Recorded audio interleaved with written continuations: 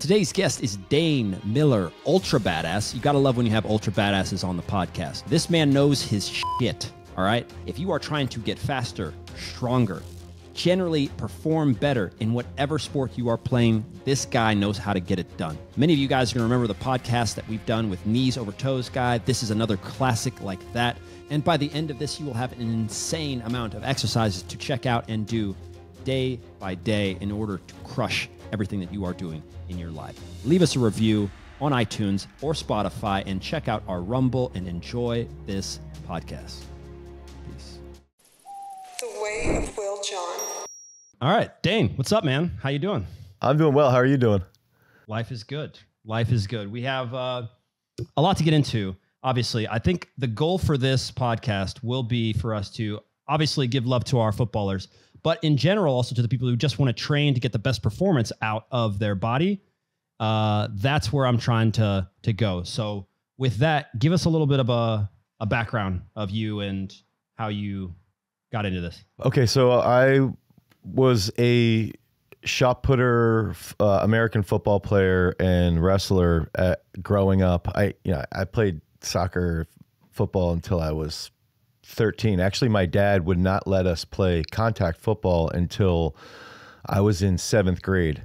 Um, and then, you know, long story short, basically he's like, look, you either wrestle and play football or you swim because I, I grew up swimming as well. You swim and you play soccer. And I've, I'm a, an aggressive individual. And basically at that, especially as I'm hitting puberty and stuff and, and I'm American, it's like, ah, I got to play football and wrestle. um, but then as I aged, I got very good at as a shot putter, which is in track and field. Uh, I went to Penn State, you know, uh, uh, so it's a Big Ten school for for throwing, and then I ended up training with a, uh, an Olympic champion named Anatoly Bondarchuk. And while I was doing that, I started to get contacted by professional throwers, discus throwers, shot putters on what we were doing with Dr. B.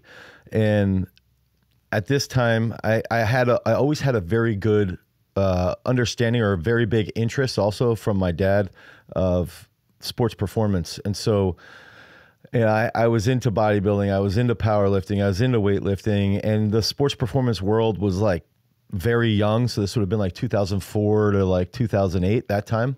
Uh, and I, I decided that when I was training with Dr. B and all these people were messaging me and e- emailing me, I was like, you know what, I'm going to try and move home. And we always trained in my parents' garage. Um, so I moved home after I li- so I lived in Canada uh, for a little more around a year. I moved home and I started my gym and we started working with wrestlers and then we started working with a lot of football players and throwers, and it was just sort of like I had a really big in with actually a lot of swimmers, and then it just catapulted where everybody wanted to come. And I would say, specific to soccer, my best personal work with a, with a soccer player was a guy named Christian Sloat. He played at, at Penn State and he was all Big Ten, um, the leading scorer for like two years there. So that was like our our biggest dive into soccer specific training. Um, yeah, and that's like the the long and short of it, really. Yeah. And so with all that, and it's always good to talk to people who are talking to players from all sports that are achieving a whole lot. It's crazy how many similarities there are between so many sports when you wouldn't think that, right? You know, I mean, soccer involves a whole hell of a lot of jumping, running, this, that, speed, this, you know, and uh, a lot of the guys they you can't train exactly the same for a sport, but the similarities within you need to be quick, you need to be strong. Usually, it needs to be happen after you know one two seconds right? It's very rare that you have like a you need a bodybuilding body to you know and and your your training is so different. And so with that i want to get into just a general a general overview of if soccer is a good it's a good starting point right? Because there's so many different types of of things that need to need to happen. But within sports performance there are probably a few let's start with the off, no weights, no nothing. What are the things that you're seeing from the guys that are able to achieve top level stuff? What are they doing? Body weight workouts? Are they working on their cores? Do they work on speed and agility? What what puts what are they putting and packing together well that makes them good without going in the gym before we get into what they no gym work specific?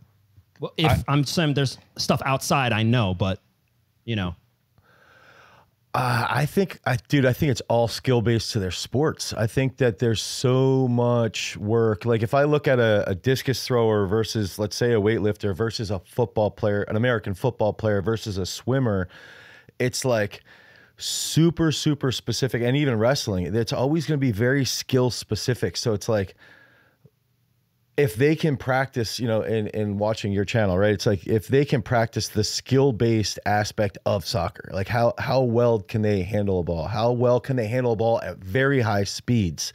How well can they decelerate with that ball? That's all skill work that's going to be done out on the field, and that can also improve their speed with the ball. That can also improve their deceleration, their ability to cut, their ability to set their opponents up uh, th- to then be manipulated. And I think that that's always been the biggest factor for me when I'm looking at you know the uh, you know Pan Am game Pan Am Games champ that I've worked with in swimming, uh, Pan Am champs and and and Olympic medalists that I've worked with that are on site here in throwing, uh, world medalists in wrestling. They've always had that that skill mindset. It's always based off of their skill and i think it's so specific to their sport that's their passion. The sport is their passion. So they spend more time developing this analytical brain and it happens i, I think it a lot oftentimes especially now with the internet uh, or with social and, and youtube it's happening way earlier with kids. Kids find that passion when they're 12 13 14 years old for these sports and they just get because they can watch it on their phone and and, and screen record things and, and go back and forth it's so I think I think to answer it, it's like it's dependent upon, you know, soccer's or uh, football is more uh, locomotive, so they're going to be doing more more sprints and and more footwork specific stuff. Whereas wrestling, it's going to be like. I have kids that are out in their backyard doing stance and motion and taking shots and visualizing, you know, hitting a, a takedown and winning the world title the same way that an American kid grows up thinking that they're going to get hit a home run in the bottom of the ninth and and win the World Series. Like, and they're visualizing that while they're playing wiffle ball or or, or hitting a ball off a tee. So I think it's it's all very specific. The the best of the best have that that knack, that passion for the skill and the technique early. That's so true. That's so true, especially on the repetition side. I mean, it's it's insane how much time I spent. You know, I was on U.S. at the time when I was growing up. Didn't have a U14 national team. I was on the very first U14 national team, and the amount of time I spent juggling, shooting, backyard, uh, in my basement, in the kitchen, all this stuff. The repetitions that they that I think it goes it doesn't get noticed until you start seeing the guys that have success. And you start to see how obsessed they are about bending the ball just one way 500 times right? Or like you said a takedown this analyzing every single aspect of this visualizing exactly what it is. Uh, it's so true. But then let's take it into because uh, you had a very successful video. Obviously we'll link to this this video and the title of it was best gym exercises for soccer. But with before even getting into like the amount of information that you packed into there we need it should be a college course dude. Like i like two minutes in i was like all right notebook. That's know? cool. Like yeah. uh, so from what you remember from that and from just you know your own experience at all what could you give us? Do you do you remember like what are these best gym exercises for a soccer player and why? So I, the way I, I have my my brain works right is is that I like to look at first. Um, it's funny because because you you had mentioned this, like you know, eh, eh, let's just take total opposites, like a shot putter. So if you think about the, the two best shot putters in the world, one one's named Ryan Crouser, the other one's Joe Kovacs. These are guys that are the strongest, like generational talent, like Michael Jordan, LeBron James, Kobe, like Ryan Crouser right now is probably in the sport better than what you would see like a Michael Jordan. And if you take if you took Crouser right now, he's strong, he's super explosive. Dude can probably run like a 4940 and he's 330. Dude, he's huge and he's he's strong. Uh, can do like a standing broad like 10 plus feet. Just freak of nature. So you, but you see the size of him. And then so what I would do is for me is then I go, okay, well, let's look at soccer. So we have these crazy disparities here, but you still have to be fast. You still have to be strong to a point. Strong in the sense that you have to, you know, I, I think about uh, Ronaldo's super jump, and when he landed, he had to be strong to to handle that landing position. And so the difference on these two massive disparities is that you see Crouser or Kovacs. These are guys who will carry more body weight. Okay, so they might be, you know, like 20% body fat. Uh, Crouser might be a little bit less. Joe Kovacs is probably a little bit more. And they're doing more like hypertrophy work, so they will have more and more mass. Okay, so that's going to be the difference on the training over here. That's like the subsetting. So then on the soccer side, they can't have that mass because they're running a 10k every every game, or, or close to a 10k at the elite level. So they can't have that mass, but they still have to have that strength. They still have to have that speed, and and and what we focus on, we call you know, it's it's called dynamic trunk control. So the ability to to hold their trunk upright. And if you know, I always say the easiest person to think about with trunk control is is Barry Sanders. If you're an American, you could see him just juking, and his his upper body would never move. It's all his footwork and his legs. And so the biggest thing to then take out of if we're making that comparison of the the the the football player versus the shot putter is you know the best football players in the world need to be lighter they need to be but they still need to be explosive so then we have to start working on uh, exercises that are going to help you be explosive and be strong. So then you can say, okay, well, now we have to focus on, and I'm going to mine deeper and deeper and deeper. Now I have to focus on uh, relative strength. So that's like pound for pound strength. So if we can make them pound for pound more stronger, then they don't have to have as much uh, mass to be as strong. So then we have to train their nervous system, and then we we go okay. We can do plyometrics. We can do explosive explosive exercises like a power clean or a power snatch. But most most people aren't exposed to that early on. So then we drop down and then we go, okay, instead of a power snatch or a power clean or clean or something like that, now we can do trap bar jumps or dumbbell snatches or jumps with dumbbells. And we start to get creative with these specific exercises.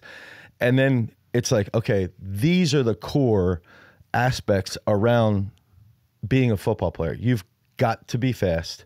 Uh, and all the skill stuff, the skill stuff isn't what we're working on. The skill stuff's what what your channel's about and I always say that to the coaches in wrestling or the coaches in swimming or the coaches in football is like, yo, if you see a problem with skill, that's not on me. That's on that's on you guys. Like, I will make right. them fast. I will make them uh, more explosive. And then looking at the football player now, it's like, okay, they're almost always going to be in a unilateral position. They're almost always going to be sprinting at high speeds, then they slam on the brakes and they might jog a little bit and then they uh, sprint again. So there has to be a lot of start, start and stop work. That's where we'll look at plyometric series, but then also uh, hip girdle strengths. And then I'm my immediate thing always, and especially with with uh, football, is going to be a single leg squat. Okay, if we can get them to master a simple single leg squat and get to the point, and I like to provide benchmarks. On one of the aspects that I got flack on that video was I provided some benchmark lifts, and people were like, "Oh, Chris, Cristiano Ronaldo, he would never do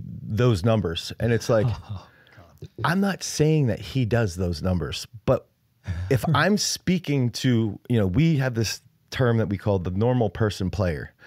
If I have the normal person who isn't uh, overly gifted, you know, they're just they're literally the normal kid if I can get that normal Joe Schmo that comes into my gym just to these benchmarks, one, I can use those benchmarks to work towards with a clean or with a single leg squat, in this case with soccer. And that motivates them. And then we can build that baseline so that they can jump off of one leg.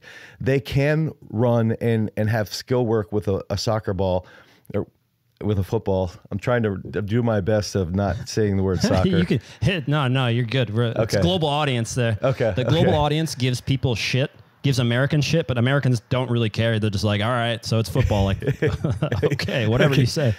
so, yeah. so yeah. the other thought is like the the the place that I do think that we can have a big impact uh, with football is is something called a quiet eye. So the ability to run and not get disrupted uh, by feedback and and be able to handle things. And that's where trunk control comes into play. And that's where um, foot eye coordination comes into play. So I will try to train things like uh, high speed plyometrics, again, the single leg squats so that they're more stable with their trunk. Um, and then just get get creative with all with looking at specific muscles like the hamstrings, like the quads, and like the glutes, and what exercises, what compound movements can we use to develop them so that they're a better soccer player. And you've mentioned a lot of stuff that uh, definitely, I mean, I've done plenty of, obviously, over the course of a, a long career. I've had tons of different trainers with tons of different methods, and they all still do share those commonalities.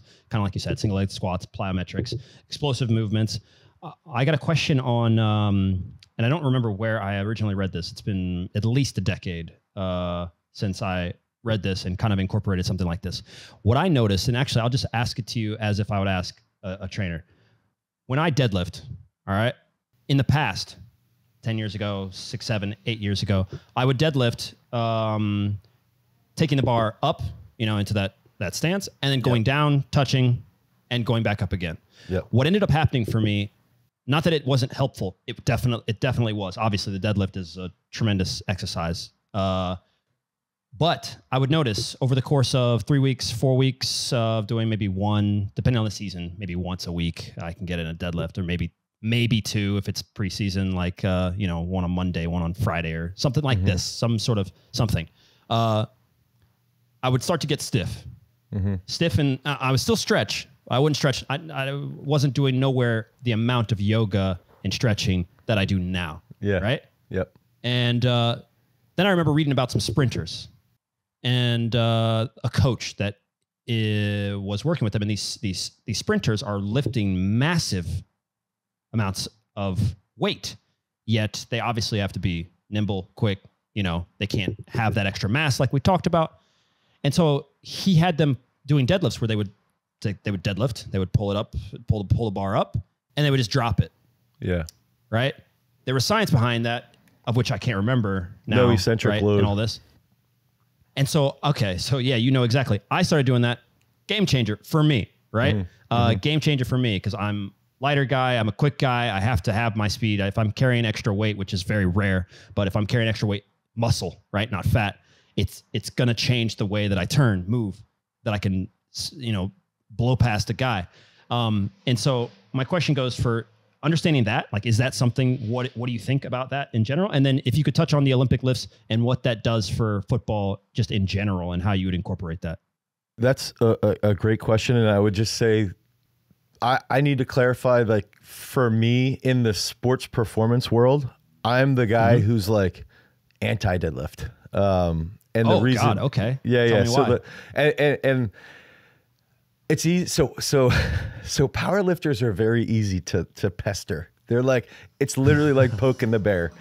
Um, and the funny thing is for me is like since I stopped throwing, deadlift's probably my favorite exercise. So I've deadlifted over 700 pounds, but at the same time, I've trained the guys in the NFL and they've never touched a deadlift. I've I've gotten guys to the Olympics and that we've never done a deadlift a single time. And and the reason being is I'm looking at transfer of training and I and I look at okay, if in, in your case you you you mentioned, you know, you can only do let's say you only train your legs once or twice a week. Maximum in season you might do do it once a week. So I'm going to look at an exercise that I'm going to pick that's going to transfer to three or four qualities. And the qualities for you know a specific sport, I I identify ahead of time. And so for a sport like like football, I'm going to say, okay, you have to be um, specific qualities is you have to be explosive, you have to run fast, and let's say you have to have very, very optimized trunk control.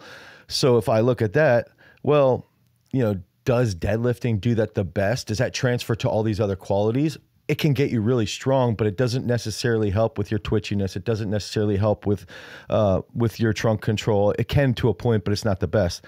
And if I if I would use you know using your your uh, sprint discussion, you know, you look at a coach right now, Ralph Mann, he works with Noah Lyles, who's who's top two best in the world. He's you know, Olympic champ in the 100 and the 200.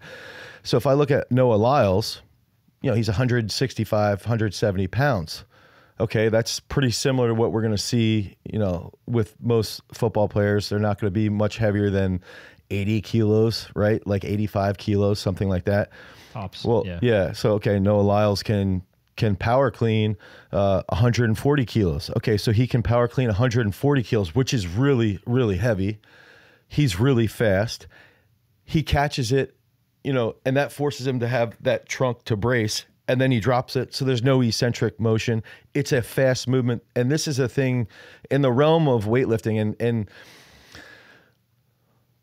this is another thing in sports performance. There's coaches that use weightlifting movements and there's coaches that don't. And there's like this huge divide. And I would say that it for me, I'm like the guy who who will say, you don't need them, you don't have to have them. But if I'm teaching you from day one, I'm going to teach you how to do it. Um, and so to go to go back to your discussion, I would look at movements that you move weight fast, you move heavy weight fast. Um, we would still be doing we would do mobility before your training session. We would do mobility post training session. Um, and I think that's one big factor too. The last 10 years, the world of mobility has just exploded, which is what's pushing a lot of you know world records across multiple different sports. Yes, there's PEDs. I'm sure somebody's going to comment about that right now, but there's also just a huge advancement in in mobility and recovery tactics. Um, but yeah, my my my response to to your situation would be it doesn't have the highest transfer of training. The eccentric portion of those lifts are going to be what what what fatigue you and make you feel stiff.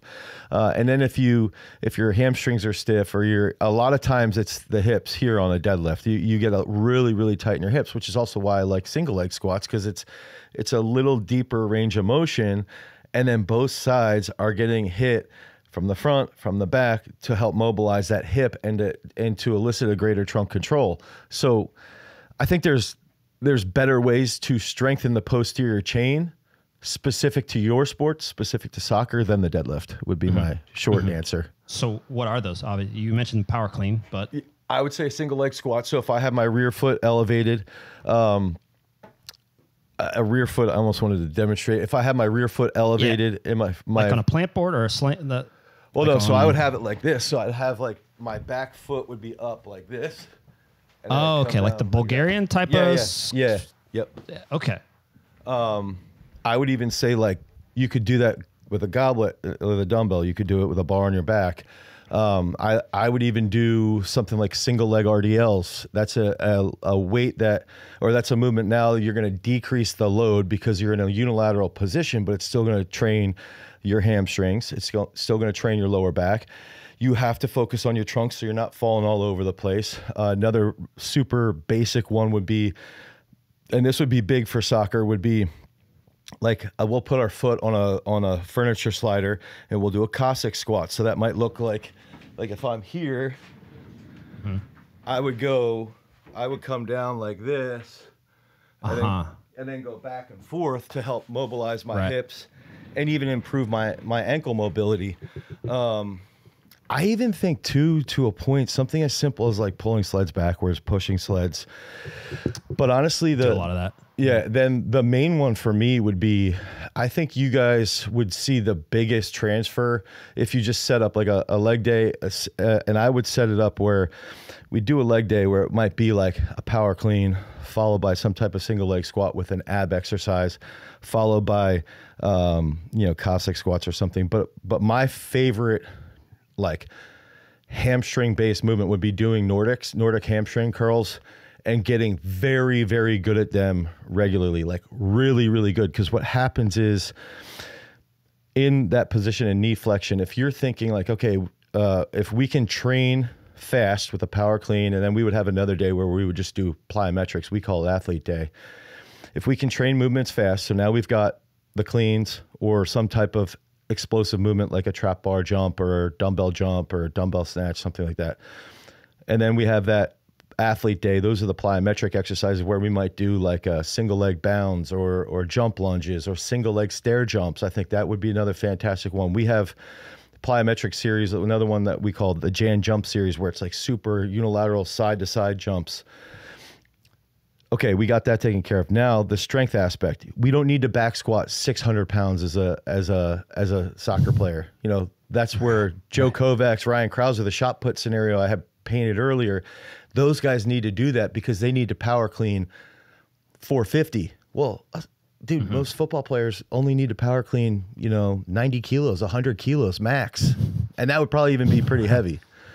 So it's like, all right, well, let's do some single leg squat work uh, for the strength movement, and then on another day we could possibly do some of the that Nordic work to really target the hamstrings, and then you would get into the Cossacks uh, for for more agility in the glutes um, and more targeting your adductors as well because of what happens when you're actually when you're actually making contact with the ball. Um, and honestly, I think a lot of my stuff that we would set up to on our athlete day when we would do the plyometrics I would try to incorporate at least one exercise that would that would be using a ball or a ball reaction in in the plyometric series. So there might be like the ball's going here, you have to trap it by the time you get out of this. It bounces once and you have to do like a shuttle and trap it before it it, it bounces a second time. Um, just because I do think that it's, it's it's like ice hockey. You know, you can train you got you can train specific characteristics with without the stick or without the puck but the sports with a stick and a puck so you got to get specific at a at, at a right. point. and i think that's what i would do with with soccer is like there would be a point where we've got to do something with the ball because if we don't know how to be fast with the ball like we're screwed and we've got to get to the point yeah. where we can run at like 90% of our top end speed you know, if we measured our, our 100 meter sprint and we ran a 10 second 100, which you wouldn't be a soccer player, you would be a, a world class sprinter. But let's just say this for math if, if I'm running a 10 second sprint with no ball, that means that I would want to try and run like a 10 1 or a 10 2 with the ball, which, which sounds crazy, but it's trying to work towards that point. And that would be where that on that athlete day, I would try to get unique with it. It's uh, really fascinating. I think uh, two things. Number one, uh, you you may be familiar with knees over toes guy. We did a collab a, with him.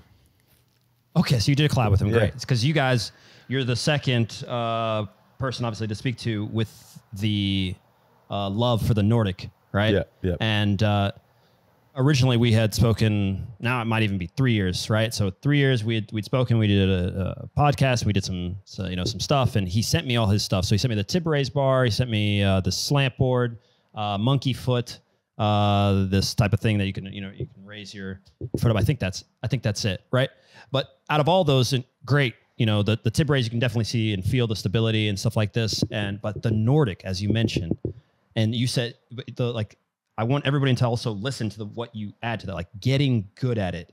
And the reason I say that is because all soccer players know that in preseason for like one day we'll do we'll do like Nordics, like everybody will hold each other's yeah, yeah, yeah, ankles. They'll do it. You won't see that shit ever again for the rest until the next preseason. yeah, yeah, yeah. and it's like that's not what you're saying. He said get good at it, right? And so, yeah, I think that needs to be said for training in general. Is like I, I, I I truly think that that's why I like having benchmarks. And it's like, if you if you hold yourself accountable and say you single leg squat the, the Bulgarian I, I just don't like calling it Bulgarian because it's like a marketing ploy. Bulgarians never did single leg squats.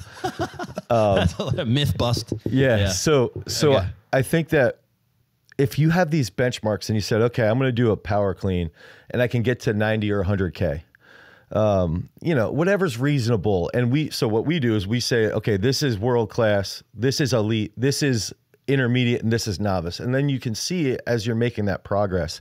You know, if I if I would say, um, we we would have a benchmark for the clean, we have a benchmark for a single leg squat, we have a benchmark for Nordics, and it's like. If if you can do that and you can instill in the in, in the athlete like look you, you got to train 2 to 3 days a week the whole year. You can't just say like, I want to do one Nordic. No, I want you, you got to get to do 10 Nordics. And then when you can do 10, now I want you to pause at the start and come up. And then it's, it's like all of a sudden you're never having hamstring issues. You're never having knee issues because you can slam on the brakes so well. And I think that that's like one thing I would echo there is, is also it's like, yeah. And it's like, any fast athlete is it is it causation or correlation? Any fast athlete we've ever had, we've had we've had running backs run four three three forties. Okay, Nick Singleton is like this. He's real. He's a starting running back right now at Penn State. Every single running back that we've ever had, every single soccer player, every single athlete, track athlete, right? They can do that's fast. That is can sprint really fast. They can do 10 to 12 Nordics. Like boom, boom. And it's like, is it causation? Is it correlation? I don't know, but I think it, the easiest thing to do is just get really good at them. so true. It's so true. I mean, I noticed immediately. It was funny because we, I, I, I did that podcast. A year had passed. We spoke again, and I'm like, dude, you have no idea. Like, I can't because I hadn't measured it. I hadn't measured it. To be honest, it's one of those things where, yeah, it's clear. It's always great to be able to quantify your stuff. I don't need to. I did not need to. It's obvious. You can feel it when you run. You can feel the difference in the change in the direction. It's there. But I had done five five sets of five once a week for basically like eight or nine months. That was almost it. That was it during great. season two. Yeah. Yeah. And, uh, you know, and it was to the point like f- at first, you know, I was kind of like, all right, like, you know, and then you start to see like, well, I'm actually kind of getting better at it. And then I started to notice on the field, like I got here quicker, Yeah, you yeah. know, and then you start to, and then, you know, that, that compound, it, it's like that with everything in life, to be honest. I mean, if we want to even pu- push it out, right, whatever you Right. focus on and intently do consistently, generally will start to bubble and grow. But it's crazy what it does for you there. Uh, I want to, I want to get into something that's also You got to try razor this, curl, by uh, the way.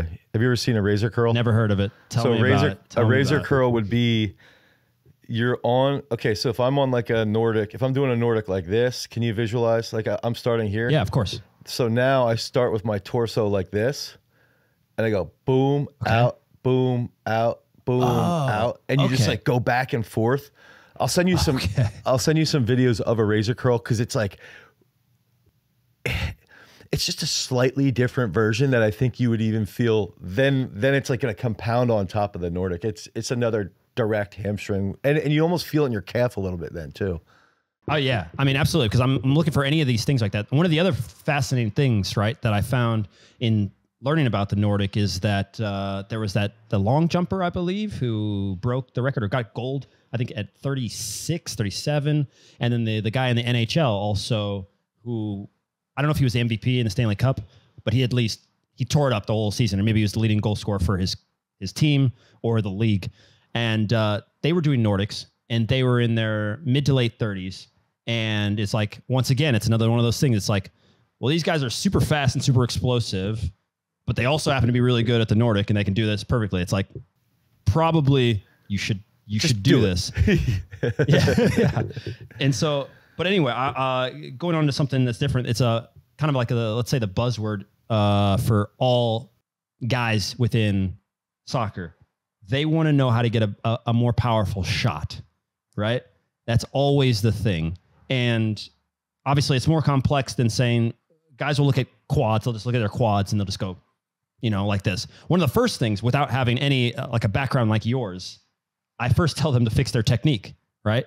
Uh, because they got these flimsy ankles and they're toe poking the ball or they're not connecting with the right spot. I'm like, if you want to first, before we even go there, let's fix your technique, right? So I'll tell them that. But I'm sure you've maybe run into, or even if you, in your head, because of the mechanics of shooting, you have some, you know, something that might help. Yeah. So I'm if I would go, the first thing I would do would say, and I'm I'm pulling this up because there was a paper. Okay, so if I go, this this is the uh, research journal from October of 23. Um, and the first thing that I like to do that I think that we we all get stuck where it's like, okay, well, I there's research again. You let's just stay with this shot put soccer comparison. There there's this paper about shot putters, but I can't implement that because they're different. And I think okay, so here's the first thing that I would do. All right, well, let's just look at this. Post activation potentiation for Muay Thai kicking performance. Okay. Well, uh, you know, normally people would see that and they'd be like, uh, "What is that going to do for me? I'm a soccer player. I'm a I'm a, a kicker." And I'm going, "What is that going to do for you? What happens when you're kicking? Like if I'm kicking, I'm planting, right? I plant my my lead leg. So one, I have to slam on the brakes. So my ankle's got to be stable. I've got to be super mobile. And then it, and then the other thing is we've got to be mobile through our hips so that our counter I, I don't know what the the the counter like for for baseball it would be like a, a counter movement or for a jump it would be you do a counter movement to load to to lengthen. So now I, I lengthen my my let's say I'm kicking right legged. I lengthen my right leg on the on the back on the back swing, just like a golf Sure. ball. Wind up. Yeah, and Yeah, then I come through. And if I can lengthen that a little bit more, I'm going to get greater energy buildup. And then I can use that more, just like a, a hockey swing, just like a golf swing, just like a baseball. And then if we can go and say, okay, so we've got to be stable in our ankles to slam on the brakes there. So if we use that that lead leg that's planting, that's got to be mobile so that we can achieve, uh, uh, let's say, um, yeah. So when we when we plant that that left leg, thinking through that visually, we got to slam that brake on. Our quad has to be strong. We've got to have co-contractions in the hamstrings and the quads and that lead leg to hit that. We also have to slam on through the hip. We have to be, you know, we have we'll be behind the that lead leg a little bit behind the ball with our our torso. We take this backswing and then we come through. So we need to to lengthen that. That's where the the Cossack squats as that we were just demonstrating that's going to help you be more mobile in the hips. Plus, you can do things like hip 90 90 couch stretch. Those are things that you can do on the side.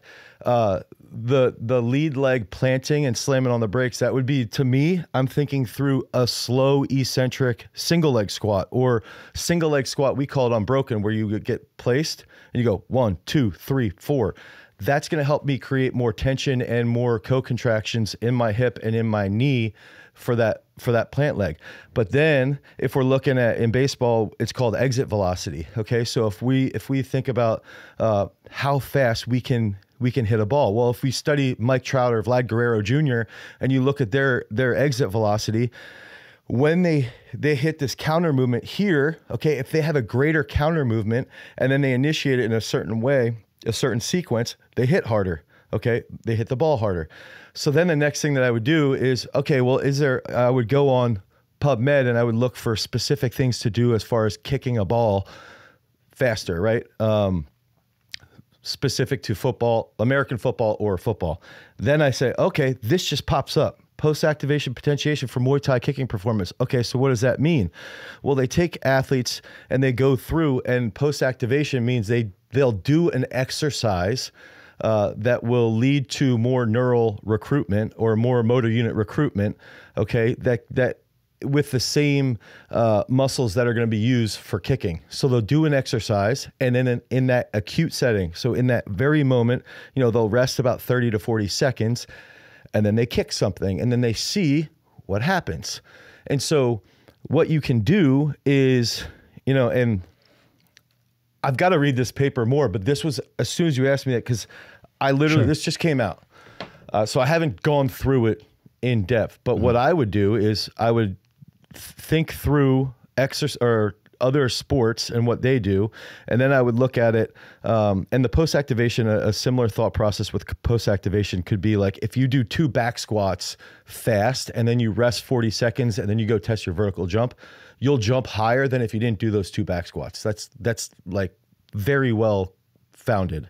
Now, you don't want to get more than like 80 to more than basically like 80% of your max because you can have some neural fatigue from that.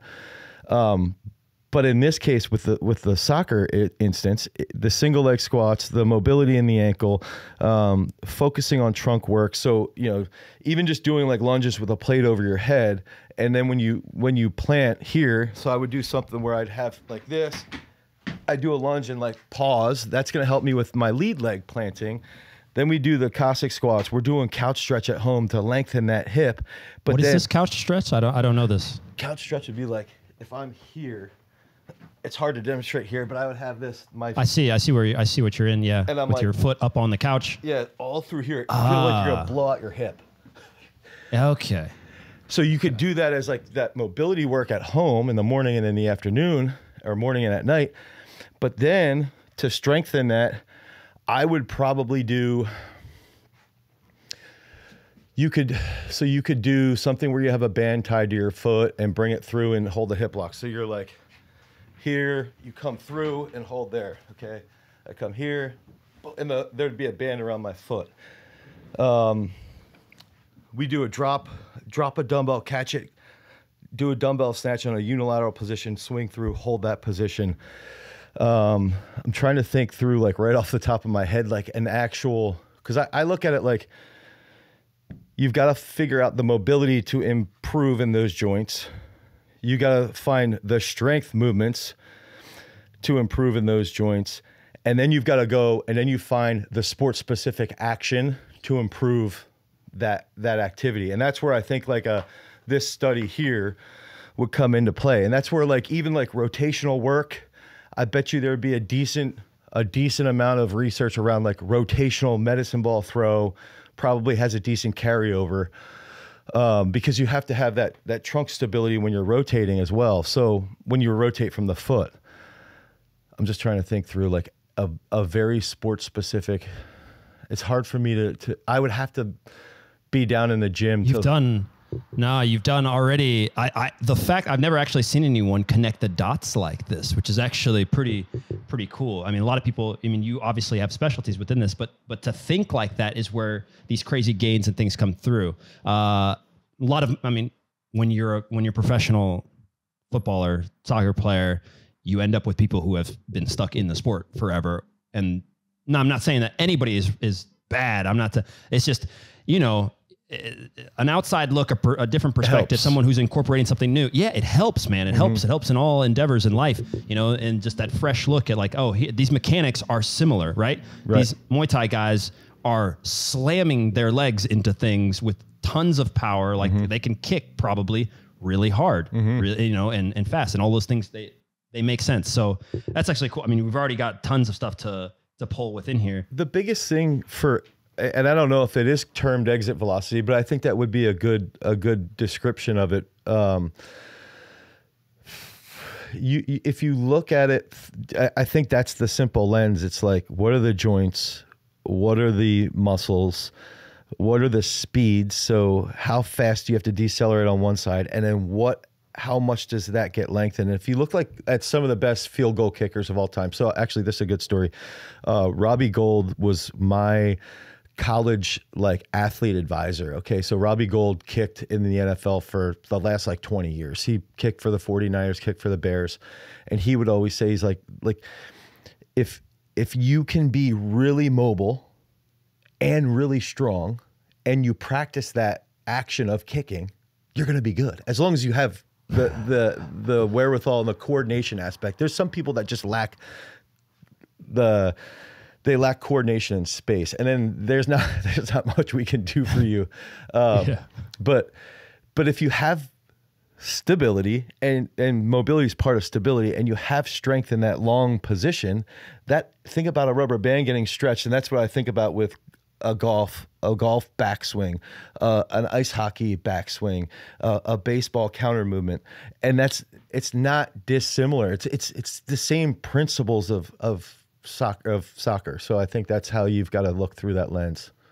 one thing I want to uh, touch on, or I'll say this just to to to respond to that story. I, I mentioned that back in the day, uh, the amount of yoga flexibility work that I would do pales in comparison to what I do now. And one of the other things I noticed in doing that was I could jump higher and I could run faster due to becoming more flexible. It's a bit like feeling like jelly, but not losing your strength. I, and I know, like you know, guys being guys, they don't want to do. I want to stretch, and I want to do it. I want to lift. Like there's all that, but like I for sure, uh, and I, I'm not sure about how much it helped me get stronger, but I'm I only speak for for what I'm sure of is that I could jump higher and that I was faster because of what felt like a loosening of something that was too that wasn't tight enough that wasn't giving me the ability to extend probably like you're saying and really to to to, reach it just it just changed like it and it almost changed overnight right and with such a minimal amount of effort uh, and so one of the, of the last couple things I want to touch, at least, is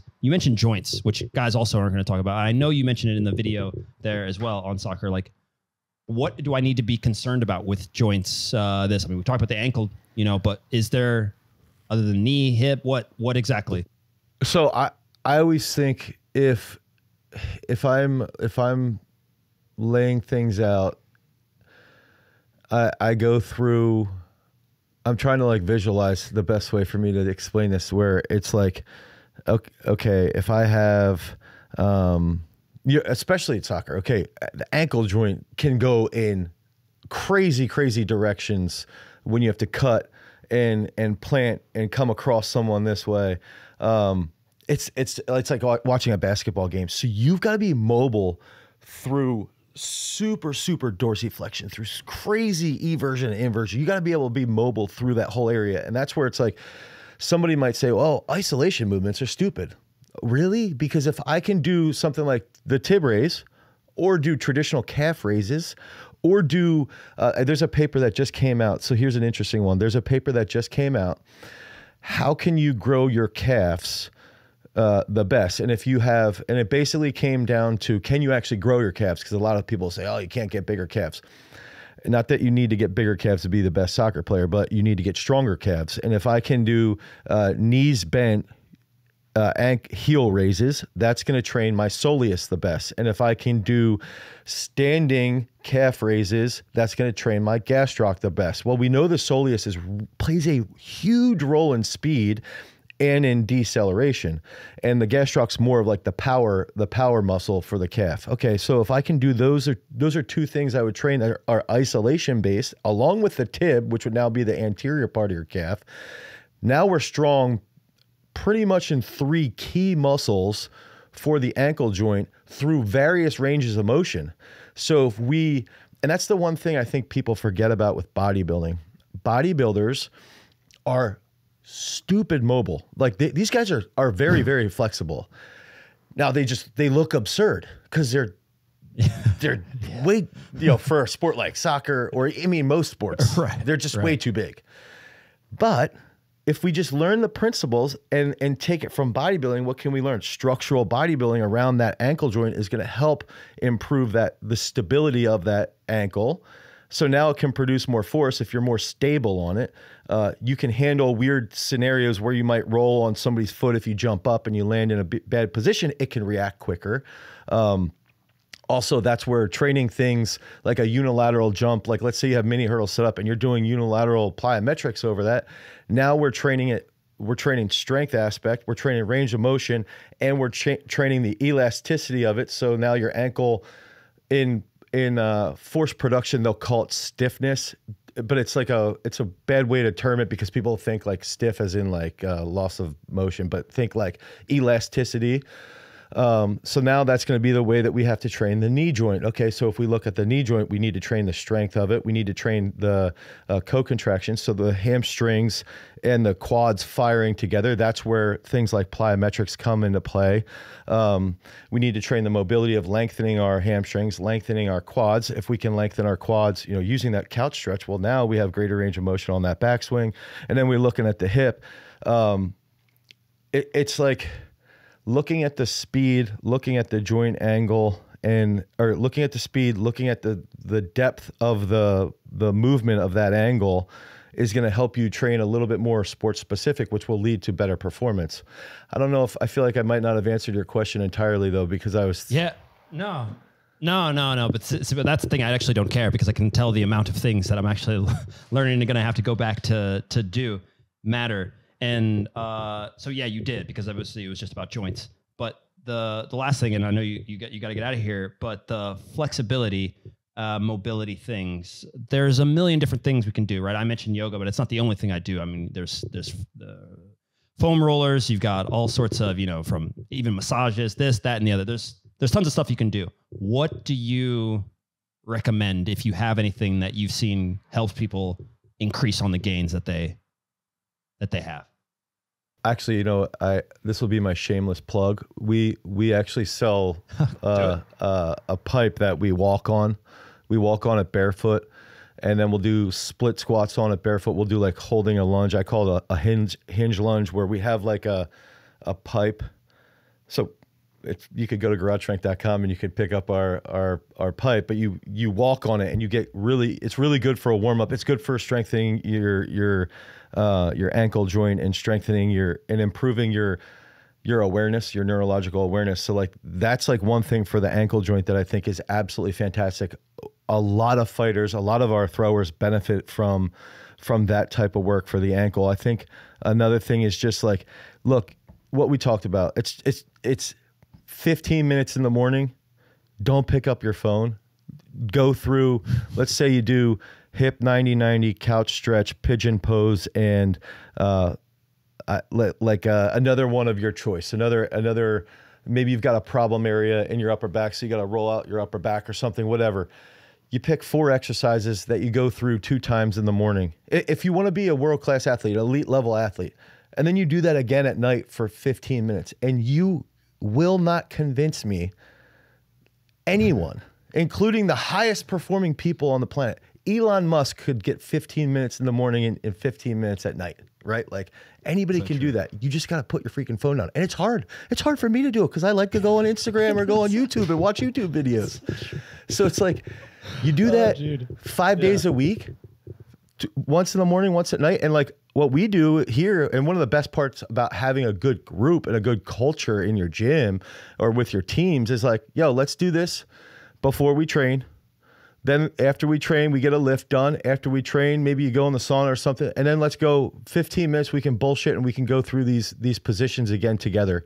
And now you got that done. And now it's like you can do it before and after training. And I think like if you you pick four movements and you do four movements on day one, you do another four movements on day two, and then you go back to your day one movements on day three, and you sort of just cycle back and forth. Now you're hitting anywhere from four to twelve exercises throughout the week, and that's going to improve a lot of the different positions. And then you're going to start to, and I think this is the best thing about yoga is that when you're holding positions and you got to get deeper or whatever, you you'll start to notice little things that you're like, oh wow, that's weird. That that was tight, or that oh wow, that loosened up, and then that's a heightened sense of awareness of your own body's feedback. Now, and I know this sounds weird, but I think the best athletes in the world, they have their brain here, and they have their body here, and their body does things like autonomously. Like it they are so well skilled that they don't have to think. They don't have to think about these things. Look at okay so if we look at the uh, I'm, I'm thinking about ronaldo super jump because i mentioned that earlier right? He comes through he jumps off of one foot. And I've seen a lot of footage of him jumping off of two feet. And he doesn't think like, I have to jump off of one foot or I have to jump off of two feet. His body is just doing what it needs to do. Now there's feedback over here from his brain to educate his body on the on the environment.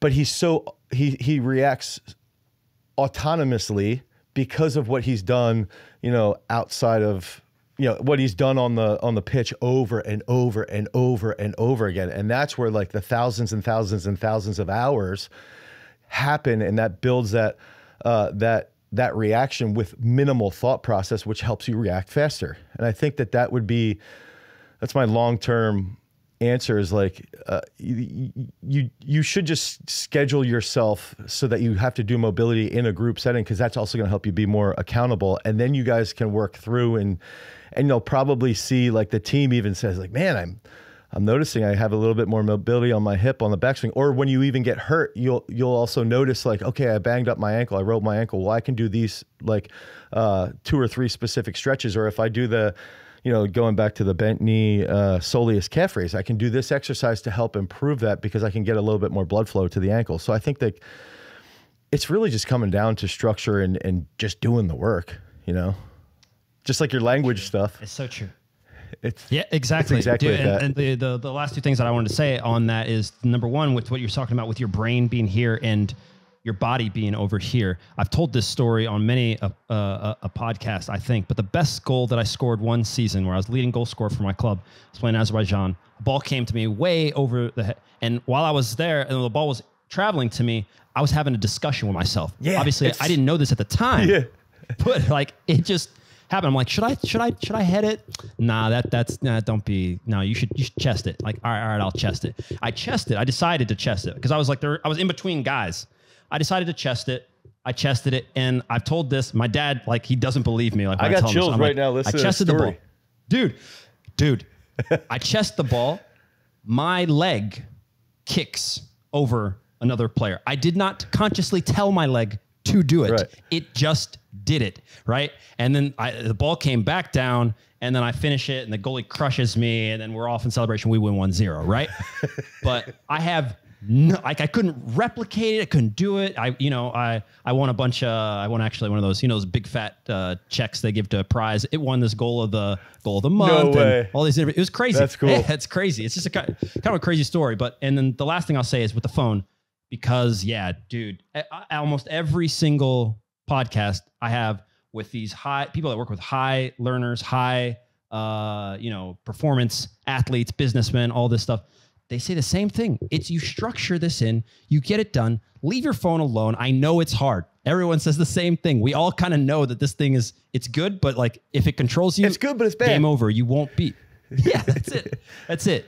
And so, yeah, I just wanted to say, just for everybody who's like all the regular listeners to this already know, like how many times are you going to hear this before you do something and change? But uh, one of the things that i- i- in what the best athletes in the world they always will say like you know okay when you for american football when you when you get to the collegiate level it happens faster but the best athletes can slow it down mentally and it the game speed's not changing. Their reactions are changing and it's happening faster for them relative to their opponent which is makes makes them better. When they go to the NFL it's the same thing. The game's even faster. Like for soccer when you guys get to the top level the game is happening faster but the best athletes in the world have a slow brain. Meaning not that they're meaning that they can process more things at higher speeds and it makes it easier for them to make sound discussions or sound sound decisions. And and it's like uh, the best quarterbacks in the NFL will have a pre-snap read and they read you know nine guys and they can bring in all that information. The worst ones can only read two or three. And so it's like it's the same principles across all sports and if you can uh, break down movements and this is where there's a concept called chunking and you can you can take exercises or take scenarios in in soccer right? And you do specific drills and you just master this drill here. I'm going to master this drill here and then i'm going to master this drill here on this side and then I can have a drill that links those two together and I'm going to do each of them 500 times. Well, guess what? Now that just made your game that much stronger because you in that situation can slow things down whereas the other guy's having an anxiety attack because he can't slow it down. So yeah, and that's, also it. That is the big difference. that's also Yeah. probably what you saw with with like yoga. I think is the other aspect is that you know I'll try and get our, our guys and, and women to to get in the sauna and and to do yoga because it helps them visualize and the the mirror neurons and the visualization is is a very very powerful thing that we're only on the ice we're only tipping the iceberg of this stuff. This is this is there's there's research and stuff that that visualization it's not going to solve like a, a dead joint problem, but it, it helps people feel joints that aren't that aren't even there, right? And then that helps them when they be when they become when they get a prosthetic limb. So what's crazy is that what does that mean for sports performance? That means that if we're using visualization regularly along with the mobility, along with the actions that we're doing in the gym, along with all the skilled work, and then it comes down to the coaches of just being like, this is how much time we need to do this, this, this, this, and this. Okay, let's go and then improve the, on that schedule on a regular basis. Yeah, the fact that you even touched on visualization like blows my mind because that would be a whole that's a whole nother podcast. All Yeah, yeah. even in We gotta because schedule have that just one. touched the uh, honestly Yeah. because I took in one of the latest videos that we just did. I interviewed these the top performers, EPL guys, World Cup guys, winning championships, all this stuff, and I went through the commonalities. And I think I'd done like thirty, you know, close and roughly it's just like the last two years, but I've spoken to over a, a hundred of them. The they all go back to the mind. They all go back to this visualize. They have some sort of thing whether they either learned it some of them learned it some of them stumbled onto it some of them figure it out that they start training it And some just but they it. all have it Yeah, yeah, yeah, exactly. yeah, yeah. And and the fact that, you know, it is the tip of the iceberg. Like you said, okay, maybe it's not going to bring your missing leg back, but it's going to do some shit that's pretty miraculous if you make it consistent. Like you'll never believe that you could do some stuff. And that is a fact, right? So Yep. Listen, man, uh, not enough time at all. Yeah, this is so fun. I'm so I'm so through. happy I did this. I, this is great.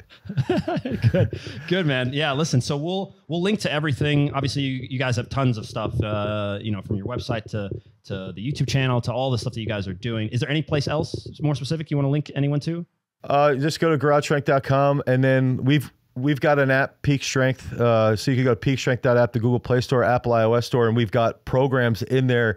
And then when you when you go in, it's it's like uh, you know, you would click on soccer or um, it is labeled soccer. So you would click on soccer, and then there's a program based off of what equipment you have, what you know, how many days a week are you training, what's your level. You input all this data, and then we will give you a, a program specific to whatever your needs are, essentially based off of uh, how we've educated it. So uh, that's a place that you can you can pick up one of our workouts. Awesome. Guys, we'll link to everything. If you're listening to this, it's in the show notes. If you're watching on YouTube, it's in the, in the description box. And uh, Dane, appreciate it, man. Thank you. Thanks a lot. I'll see you. All right. See you guys.